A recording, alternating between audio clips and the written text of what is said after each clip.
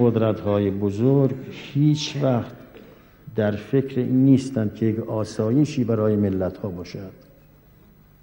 شما الان ملاحظه می‌کنید که در لبنان چه میگذرد بر اهالی لبنان؟ از دست همین هایی که برای صلح آمدند.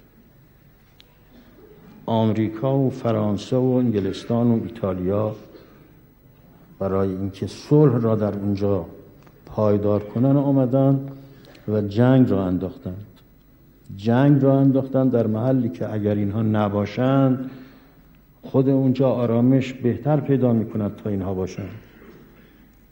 اگر آمریکا نبود و فشار به مردم نمی آورد اون بیچاره هایی که تحت اون همه فشار هستند بالاخره یک کاری انجام میدن.